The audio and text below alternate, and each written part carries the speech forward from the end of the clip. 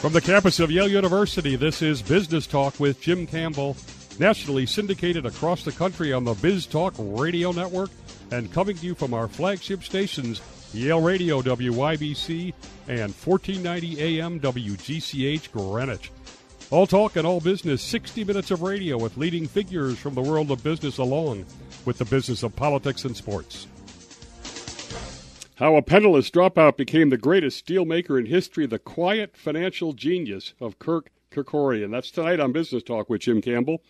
William Rempel is a veteran investigative reporter with 36 years' experience at the Los Angeles Times. His reporting triggered government investigations, exposed White House and Pentagon scandals, prompted reforms of state courts, consumer protection laws, He's the author of At the Devil's Table, the untold story of the insider who brought down the Cali cartel. He was a consultant on the Netflix series Narcos. He's produced groundbreaking reports on Osama bin Laden and Al Qaeda that were published before the terrorist attacks of September 11, 2001, and provided extensive coverage of supertanker safety flaws, again, before the 1989 Exxon Valdez disaster. And he's got a new book, The Gambler How Penniless Dropout Kirk Kerkorian Became the Greatest Dealmaker in capitalist history. That's a mouthful. Welcome, Bill. Thanks.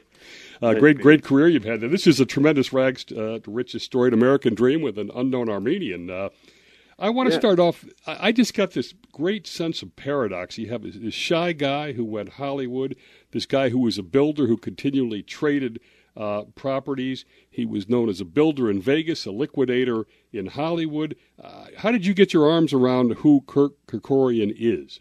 Well, he's a he's a man of many stories and many sides, and, and that was that was part of the fascination. Um, a man of contradictions, uh, no education, and uh, yet he schooled the, some of the know, greatest minds in business.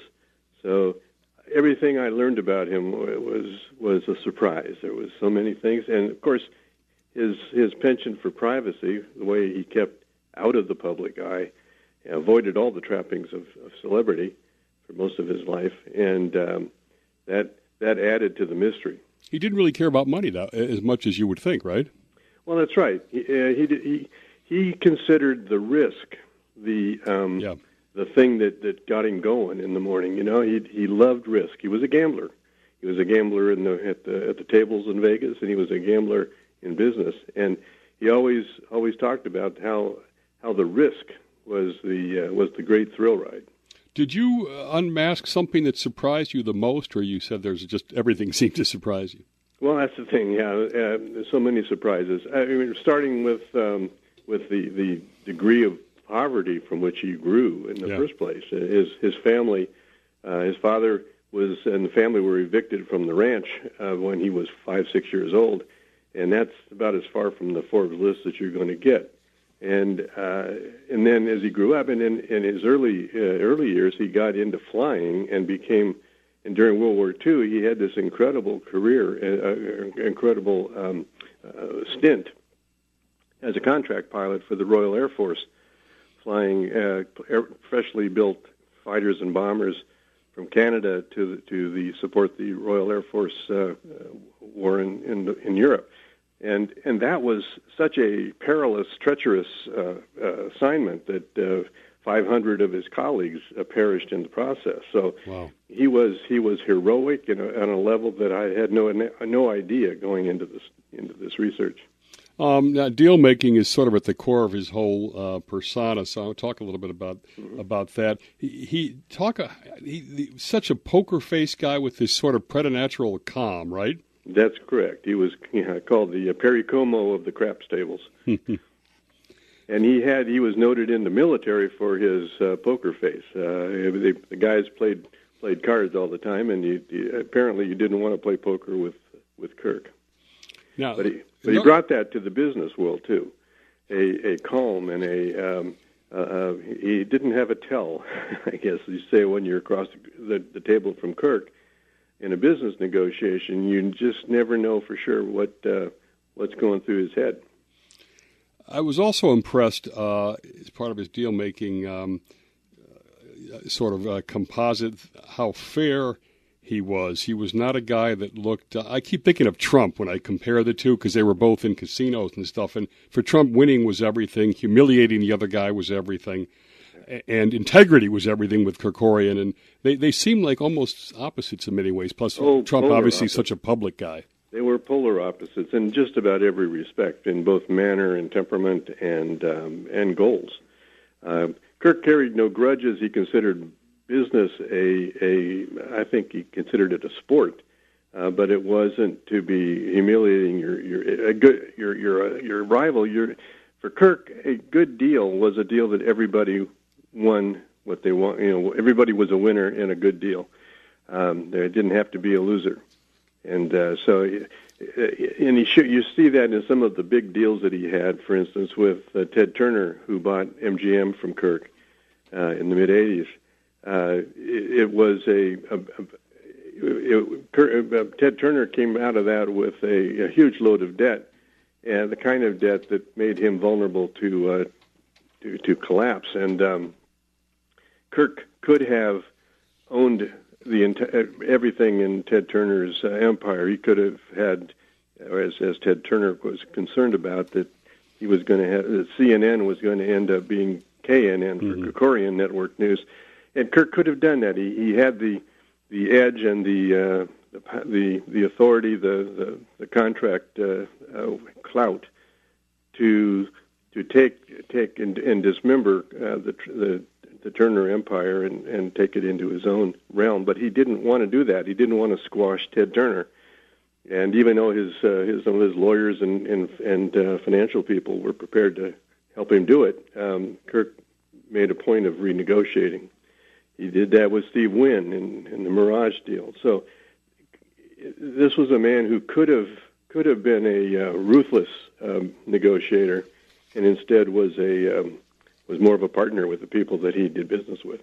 I, I was I was stunned by that, both the the, the uh, Ted Turner deal and that not only did he do that deal with Steve Wynn, um, but he didn't put a non compete on Steve Wynn just because he didn't feel that was fair, which is is kind of is kind of mind boggling since uh, you know Wynn is such a brand. Uh, Yes. It's a brand name. Yeah, and it was and it was and it was it was a combination of that and the fact that Kirk truly believed in something called competition he thought competition was good for him as well as for the other guy, and he encouraged it. He he didn't want he, for him uh, having Steve Wynn build another hotel across the street from from the uh, Bellagio would was a good idea, not a bad one. Uh, Kirk relished the competition. He relished competition from the tennis courts to the to the boardrooms. Yeah.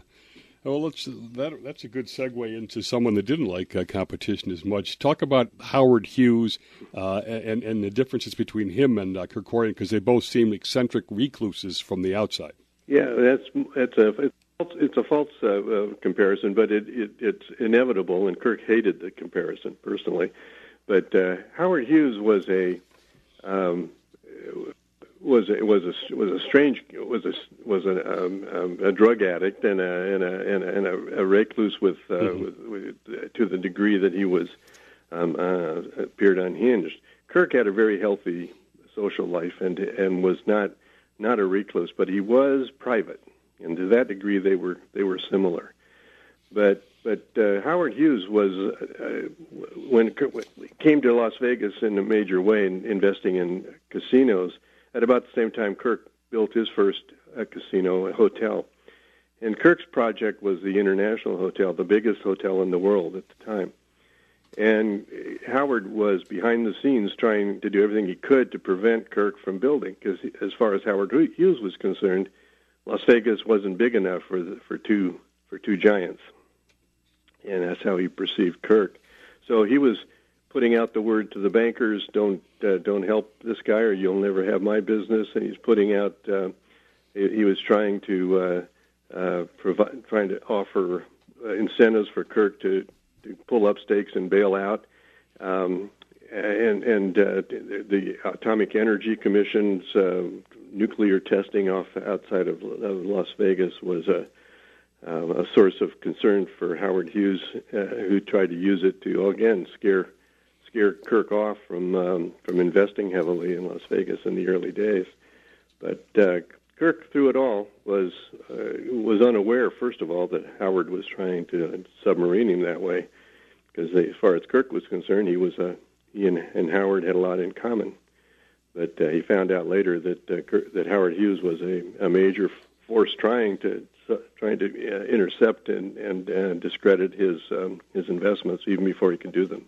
Uh, as we finish up in the last couple of thirty seconds or so of this segment, was he naive? He seemed I, throughout the, this book, you see a theme of he's trusting or he's he's thinking he's he that he's the, the guy on the other side of the table that they're together, etc. Well, I think there was a, an element of uh, naivete, but but uh, if you assumed that he didn't understand what was going on, you'd make a big mistake. We'll be right back. This is Business Talk with Jim Campbell over the Biz Talk Radio Network, 350 stations around the country. Go to biztalkradio.com, find the one closest to you, listen over the internet. More on Kirk Kerkorian coming your way next.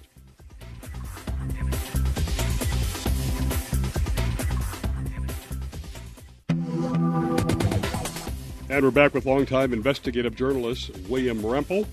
And we're going to get into a little bit of the, more on the backstory of Kirk, but I wanted to finish off on some of his characteristics that really stick out. And this is another one that's different than Hughes. Um, talk about what a visionary he was, this whole leisure industry vision, etc.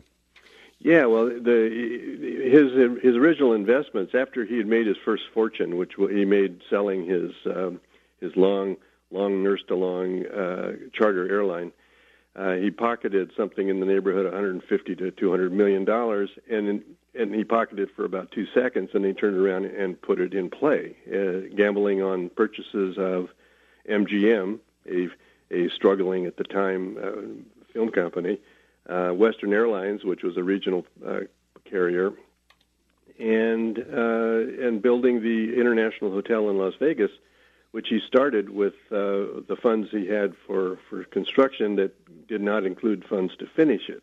So he had put. Yeah. So here he had these three th- three things um, underway, and that was um, that was a gamble. Each each one of them was.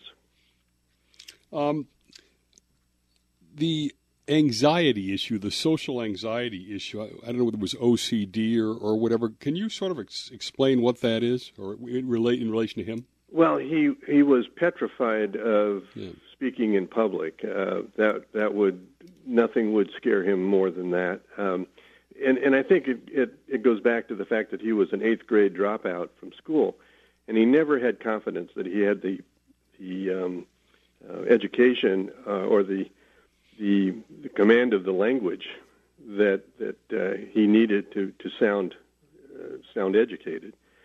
He was a man of who was self-taught, and he, of course, he he was a, a very able aviator, and uh, that required some great math skills. But he was never confident of his speaking, or his language, or his or his smarts, for that matter, uh, which was surprising since he was such a brilliant um, visionary who saw things, saw, saw, all these different different things that uh, he could do. It is, and you think those of us on the outside, no one looked at him as uneducated or anything like that. So no, exactly, exactly. This was this was a, a, an insecurity that he yes. was that he carried into his through his entire life.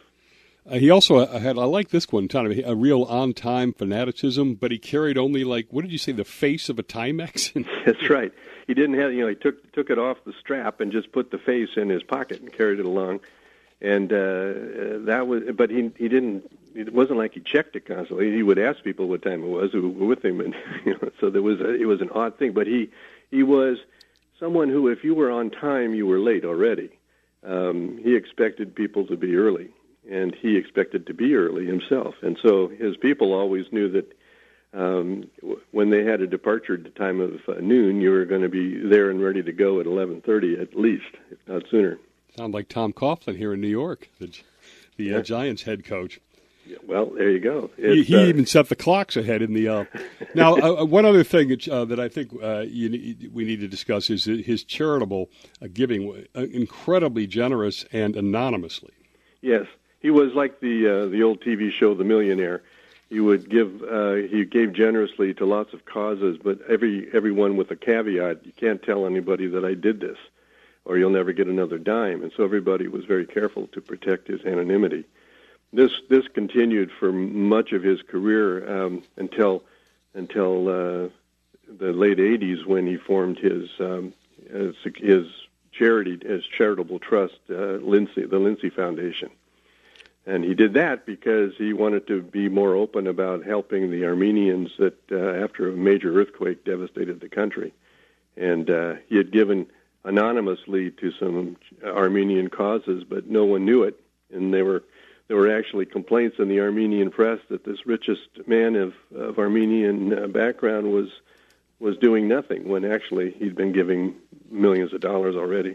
And I think you see in the book he gave a billion and a half dollars away over his lifetime. Exactly, and then when he died, money. he left the two billion that was in his pocket when he died, and left that to charity too.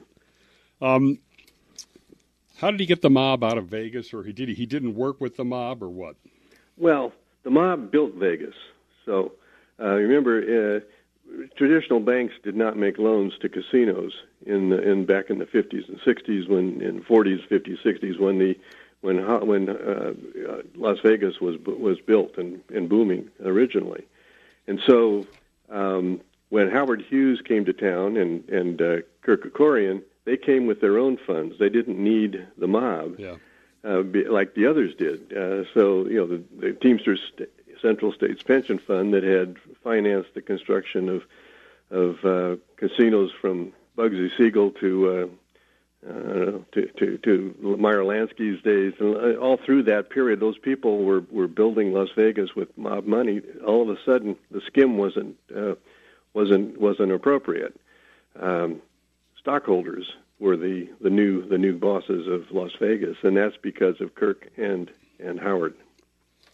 I want to ask you some about uh, some of the folks that uh, that he dealt with over time. First off, the deal he did with Elvis was pretty uh, stunning back in the day. Yeah, Elvis. Elvis was one of the, when he when he opened the International Hotel, the biggest hotel in the world at the time. It opened with uh, Barbra Streisand and then Elvis Presley back to back, and uh, it it turned out to be great for Barbra Streisand and Elvis Presley, as well as Kirk and and uh, the people that behind the, uh, the International. In fact, you could say that every um, every Elvis impersonator that's that's yeah. ever lived since then is has to thank Kirk Kerkorian for the fact that that even happened, that they exist. You know, the, the, and this is an example of, of, the other stuff. Is that the the amount of money he paid uh, Elvis in that deal? I mean, was completely stunning. And there's a, a, quote, I guess, of his in the book. You have the smaller the bet, the more you lose when you win. That's he did the right. same thing. He built these huge hotels that were t- uh, a multiple of the rooms of the ones that were there that weren't doing well. you know. Exactly, exactly, and that's part of his visionary uh, sense is that he he saw Las Vegas the potential for Las Vegas to be be huge, even when it was struggling at the time. And uh, it was the same in the movie world and with MGM. He saw he saw the uh, the, the outdated use of, um, of of the back lot, for instance, and so he was willing to. He knew that he could sell that off and turn that into a really valuable real estate instead of having to keep this warehouse in the back because nobody was using it except as storage and he uh, recognized the value of the uh, in the movie world of that library of old movies, even before there was a um, uh, a cable television uh, empire to take advantage of it, which was soon to come. But he was seeing that he was seeing these things around the corner, yeah. um, and that was part of his his genius. Uh, we have one minute to go on this segment. Talk a little bit about um, the Agassi family and the impact he had, eventually on Andre Agassi, right? Yeah, well, Mike Agassi, who is Andre's father, uh, was a, a, a waiter, uh, a captain uh, in uh, at the hotels and casinos uh, of Las Vegas. And Kirk met him in, uh, and, and discovered they were bo- both had interest in boxing and tennis, and, and in fact, Mike Agassi gave gave Kirk some tennis lessons back in the in the in the day. So they became really good friends, and um, uh, when when uh, when Mike had his had Andre, when his his wife had Andre, the uh, they gave him a middle name of Kirk. So Andre Kirk Agassi uh, is a tribute to that friendship between Mike and Kirk Kerkorian. Pretty cool. Listening to Business Talk with Jim Campbell, we'll look at some of the deals in the messy personal life in our third segment.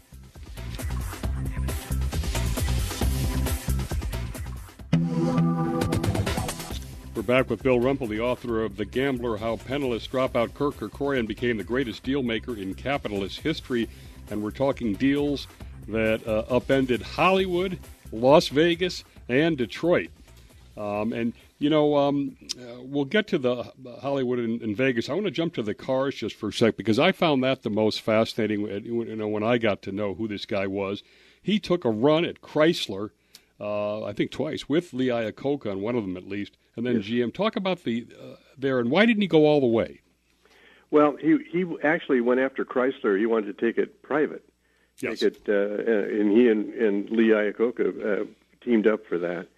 And they expected, actually, uh, perhaps naively, but they expected that the management would come along because it was such a good idea at the time financially.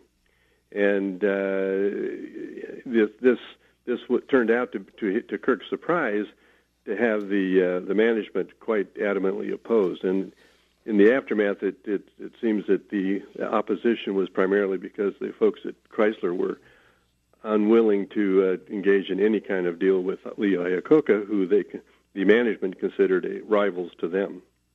So that's why it didn't go. But but it, but Kirk, as as usual, had uh, had other plan when when the plan wasn't working well. He had other tactics that he was was to because he he was um, he was a man who always had multiple tactics in mind, and uh, it, this this one of the things about this one that was so amazing is that Kirk um, failed. It was a, a, a rare failure at that point for him trying to take something over, take over a company. He usually was successful, but his in failure, he ended up with a profit of 2.7 billion dollars. And so I've always thought well, when you fail and make two two point seven billion, that's a pretty amazing deal. It's a pretty amazing deal. Did did he did he feel? I mean, he would be charged with being a green mailer or a corporate raider, you know, taking the mm-hmm. money and run. Did he didn't see himself that way though? No, right? absolutely not. He saw it as a, in fact, he saw it as a huge disappointment. Yeah. Because had it had he been able to had he succeeded, uh, he knew that he would have made something on an order of six to six, seven, eight billion dollars and uh, and it would have been better for the company in his mind. So, in fact, he sued. He sued in federal court. Um, yes. Against the Daimler Daimler Benz uh, folks that uh, that uh, that ended up taking control of Chrysler at the time, because he thought they did it under false pretenses and he lost money. And so And they did do it under false pretenses. Well, they did.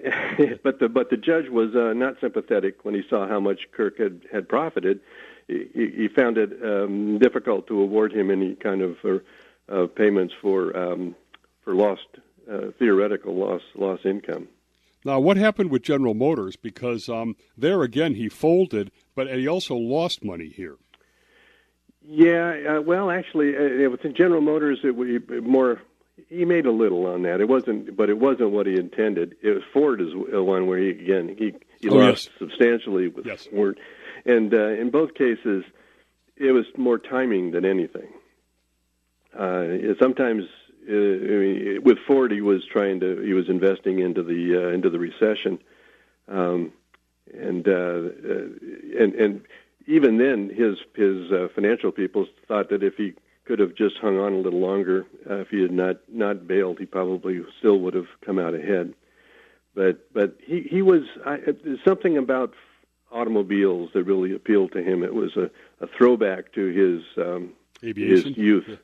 when he was a he he he used to make make a few dollars by refurbishing used cars when he and uh, you know, steam cleaning the engines and things like that. And used planes a, too. And well, yeah. and with planes it was a big deal. Yeah. I mean, he he probably kept his commercial his his charter airline was kept afloat by by timely sales and um, uh, of, of, of junk airplanes. He was the Sanford and Sons of junk airplanes. All right, let's go to Hollywood now. Uh, you, you, know, the charge is always asset stripping. That you know he cut production, he sold off land, he sold all the artifacts off. I mean, the Wizard of Oz shoes, you know, Dorothy's shoes, even. Um, did he? Did he see himself as a liquidator, liquidator that way? And then the second part, why did he trade these things all the time instead of keeping them?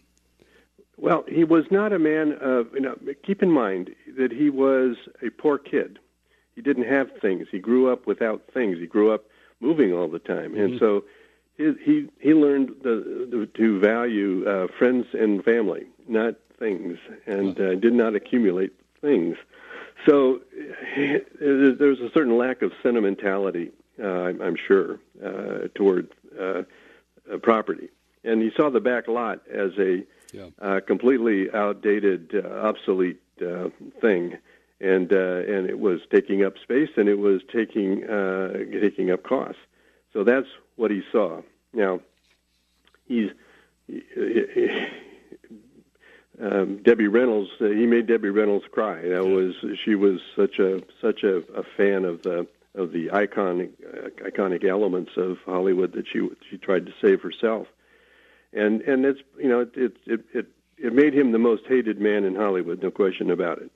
But he saw it as a cost, not a, a benefit, and the co- the benefits he saw were the were the uh, the artistic work, the the films themselves and the, and the real estate. And he kept selling the stuff. Um, he kept buying the stuff for a good price and then selling it back to the same people well, at a lower right. at a lower price. that's right. Yeah, he and in fact, you know, he with with with Ted Turner, he he, he sold him yeah. everything and then kept buying back pieces. Uh, so he, he he ended up owning owning it again. Anyway, he bought and sold it three different times, every time for a profit. And in and I think it was after the last sale when he sold it to uh, to Sony, is when uh, the New York Times called him the god of all deal makers. All right, let's move a little bit to the personal life. I mean, he seemed like such a man of integrity and quiet certitude and has ends up with all these sort of disaster things. I guess talk about the fake paternity, Lisa Bonder first. Yeah, well, in this case, uh, I mean, he, he was always his private life was very private. Uh, he he would be noted when he went out. He went out in public with uh, various starlets and friends and and lovers, and uh, that that and, and they would make the social columns or the gossip columns. But but it, there was never any controversy, never any scandal and uh, until until the uh, Lisa Bonder, who was a, a tennis professional for a while, um, she uh, falsified a DNA test to, to make her baby appear to be Kirk's uh, Kirk, the father of her baby, a little girl. Jeez. And uh, he did this. She did this by using one of Kirk's um, uh, bi- his only biological daughter uh, getting getting essentially talking this uh, daughter into uh, sh- sharing a, uh, a saliva test under false premises, false purposes. Anyway, it, it was uh, she took it she took him to court um, to to get more support for this baby that wasn't his, and um, it ended up becoming a, a the fodder for for scandal in the in the tabloid. And interestingly, he didn't mind supporting the kid. It was his privacy that he was bothered, and she was incredibly greedy, right? I mean, she wanted well, at one point a million bucks a year or a month or something. Uh, a month. A month, yeah. yeah, Jeez. yeah, um, yeah. He was paying fifty thousand a month uh, at the time. And uh, and no, he didn't mind. He he actually accepted uh, legal paternity. I mean, he actually signed a, a, a document that accepted paternity, even though he knew he wasn't the father and um, uh, and, and he promised that he would take care of this little girl and for the rest of her life. And uh, this this was this was okay uh, to him because it was money. It, as he he as only a billionaire can say, if if uh, if a problem can be solved with money, it's not a problem. So um, he and he accepted that in the case of of uh, this this of this uh, child that he would take care of her treat her as his own daughter, and uh, and and and provide uh, the monthly support that was extraordinary by most of our standards. But inter- what happened then is that the, that the the mother uh, Lisa uh, filed for more support, uh, increased support for incredible sums, and she did it in open court as opposed to family court, where it became a public a public case, and that that cost Kirk the one thing that he cared for the most, and that was privacy. That's what hit me the most, in that he, he didn't mind paying these ridiculous sums to this woman that was basically blackmailing him, but he yeah. couldn't deal with um, um, the, the, loss of privacy. When he when he divorced, I think his first wife Peggy, he has he goes into deep depression and even has electroshock therapy. Right? Yeah, yeah, he was he, his uh, his romantic life was uh, had its ups and downs, that's for sure. Um, and because he was very devoted to the first wife, by all accounts, um, and his second wife, Jean, they were married for nearly thirty years. Yeah. So you know, it, it wasn't. He, he didn't have the scandalous um, um, lifestyle. It was a you know he was a billionaire who was very popular. He was very good looking and fit, physically fit, uh, right up until his 90 into his nineties. I was impressed. Yeah, he was actually playing tennis, and he, he was he, he was upset that his body was slowing down at ninety. the, the first time he said he noticed, I'm 60, and I'm trying to figure it out. Ditto. You're listening to Business Talk with Jim Campbell. You can see our uh, YouTube version. Go to search Business Talk with Jim Campbell or go to Park City Productions 06604. We'll talk lessons from Kirk in our final national segment.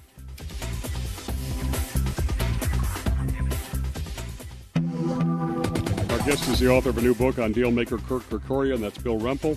And um, before we get into messages, uh, tell us um, what his net worth ended up because I was stunned. He had this huge pay, uh, project in Vegas that got hit by the 08 crash, and he lost a huge chunk of his wealth. Yeah, I think he lost something like I don't know, fifteen billion dollars, and he was still a billionaire. He still had three billion left, apparently. That's pretty close, yeah. All right, let's talk about some of the messages that I took away. What he, he had, he put importance on failure. What, what does that mean? Well, his uh, failure is what I think, uh, and it was his early days of failure. The the failure being his family's uh, difficulties. They were they were being evicted not just from the ranch, but they couldn't pay the rent in the houses when they moved to L.A.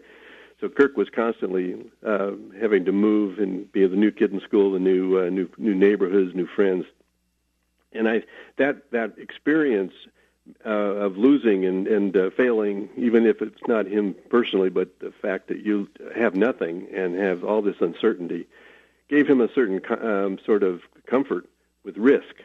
And how bad can it be? You know, when you, you you're on the verge of homeless uh, so many times in his life. So I think those those experiences of failure um, gave him comfort in making risky moves all through his career. How do you, how do you uh, explain how he uh, how he got what his philosophy or his comfort with risk and uncertainty and taking big risks, but they were calculated risks. He he wasn't a gambler in the sense that he was just throwing you know money on the table. No, that's right. He except occasionally, um, but. Uh, but his his his risks were calculated. He, in in in Vegas, he calculated the odds. He was he, he understood the odds very well, and craps was his favorite favorite game because he knew how to play it. Um, in, in, in business, he did his homework. The man did not rely on MBAs and, uh, and, and reports, any of that. He did his own homework, and he knew what he was after and knew what potentials were um, on his own. And so uh, he, he would his his pre- preparedness before taking a, taking a, an investment risk was extraordinary. I like, by the way, there's a, a, story in the book where Bear Stearns comes in and says, We prepared this huge analysis on whatever he was doing. And Kirk said, Great, could you just keep it? Yeah. he, yeah. Didn't, he didn't want to hear it. Yeah. Well, in fact, the uh, that that the fellow that prepared that uh, complained to his boss uh, uh, that uh, Kirk he doesn't listen to me. He doesn't. I, I tried to give him some advice, and the boss said, "Never tell Babe Ruth how to hold the bat." That's Ace Greenberg, right? And that's right. The legendary guy. yes. Uh, another big thing I think is your, your uh, his whole deal. Your word is your bond. He didn't even need contracts. Exactly. In fact, he would sometimes say, "I just don't let the don't let the lawyers screw this up," because when he shook your hand, you had a deal. The deal was whatever you had agreed on, and and everybody knew it. And all through his life, unlike his father, who had gotten overextended and, and defaulted on lots of loans, Kirk never did. He he he he considered protecting his reputation one of the one of the main things of life you had to do. And he was so careful from the earliest days at protecting his reputation and his his uh, his credit that uh, he never had a problem getting getting getting a loan. This was uh, in, in tens of millions of dollars on, his signature, even in the early days uh, before before he was a billionaire. Do you think it's important uh, the component that, that he's really an immigrant success story in this period that we're in right now, which is you know sort of leaning anti-immigrant? Oh yeah, Kirk is the Kirk's family could not have come into this country today if uh, they were they were poor, they were illiterate, they were unskilled.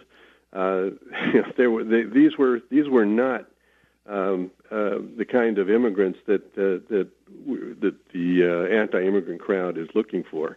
Uh, they did not have special special skills of any kind, and so had had they been denied entry, there would be no Kirk Kerkorian, and uh, that would have been one of the biggest losses of uh, in business in our country.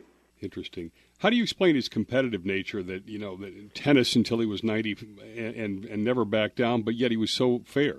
Yeah, well, he he loved competition. It comes back to that, and he he loved fair competition, and he did it in an early age. He was uh, he was a boxer, an amateur boxer. He got the got the nickname Rifle Right Kerkorian mm. after his one of his early early victories, and and he loved boxing, and he always and and tennis became his next love, uh, it, which he took up when he was like 50 years old. But he loved the competition, and he played played it competitively um, in his backyard, and he played it competitively competitively on the senior circuit. When he was in his 80s, he was he was a a, a ranked player on the senior circuit. Do you think? Uh, I think in this Donald Trump time that we're in, uh, that we would probably benefit from more humility and less hubris. Oh, definitely, yeah. Well, that's that would be Kirk. Uh, Kirk's yeah. advice, I'm sure. Exactly. I mean, he's he, Kirk. See, Kirk. One of uh, one of the things that, that was typical of Kirk is he would not talk about himself. Um, when somebody would ask him uh, his advice for how to be successful, he wouldn't. He refused to answer. He say, "I don't know. I, I don't. I can't tell you how, how to do it." Um, it. But it was all humility and lack of ego. Um, he was proud of what he accomplished. He he really was. But he wouldn't even tell say that talk about that except in the privacy of his family and friends.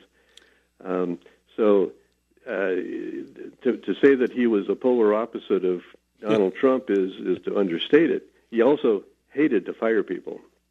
Kirk did. I mean, so so much for the uh, uh, for the for the Apprentice. Yeah, he wouldn't have quite have made it on there. The um, I, I it always impressed me. He gave hundreds of millions of dollars um, for the Armenian genocide and the earthquake, and he wouldn't even allow a bench to be named after him. Oh, that's right? right. No, he he would he didn't want he didn't want any any kind of uh, celebrity, uh, any kind of knowledge, of uh, of tribute. He didn't even like dinner parties uh, in his honor. Um, and you'll notice in Las Vegas, where Kirk owned most of the largest hotels over time, his name is not on any of them. Yeah. Uh, and and you know he didn't even put his name on his parking spot at MGM. So he he didn't do that. And just like Trump, right? Trump doesn't have his name on any buildings, does he? Oh no, not only in only in you know twenty foot letters. yes, you know I'm um, I like the the uh, the, the humble man uh, sort of summary, or, or, or this is a great line for it that's in the book. He took the risks, but not the credit. That's right, and that's what some that's what his people saw, and that's why the loyalty of Kirk's Kirk's people was extraordinary. He didn't have to demand loyalty. He he commanded it with uh, with living living a life that, that shared the credit uh, and took good care of people who, uh, who who were loyal to him, and it was it was a mutual affection uh, society. Well, I tell you, I learned a lot uh, uh, in this book, Bill. Really enjoyable. He's, he seems a tremendous uh, human being. The book is The Gambler How Penniless Dropout Kirk Kerkorian Became the Greatest Deal Maker in Capitalist History. This has been Business Talk with Jim Campbell. Get our podcast at iTunes, biztalkradio.com, on YouTube. Park City Productions 06604. Thanks to William Rempel. Thanks to our national audience for listening. We'll see everybody next Sunday on Business Talk with Jim Campbell.